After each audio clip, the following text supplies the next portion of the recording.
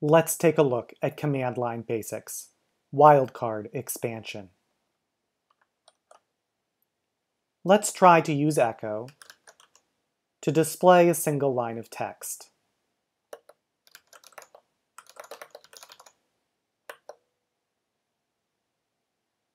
See that the line we typed is displayed just as we typed it.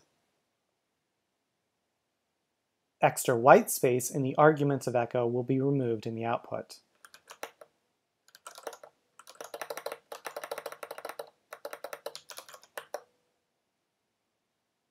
Here we typed extra spaces.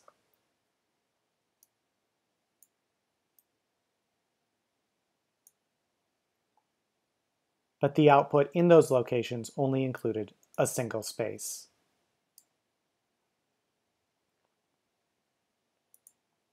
When there are special characters in the line of text, we see something else. To check this, let's cd to a different directory and look at the contents of that directory using ls.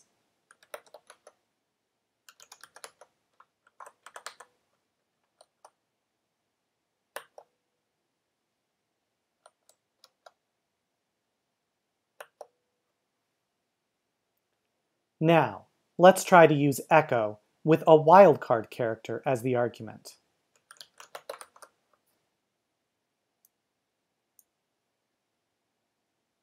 The star or asterisk here is treated as a wildcard character.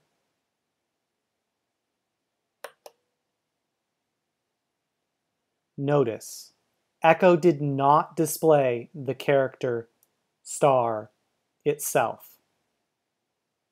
Instead, it displayed a listing of the files in the current working directory. Notice that this output of echo is the same in terms of the files listed as that we saw with ls.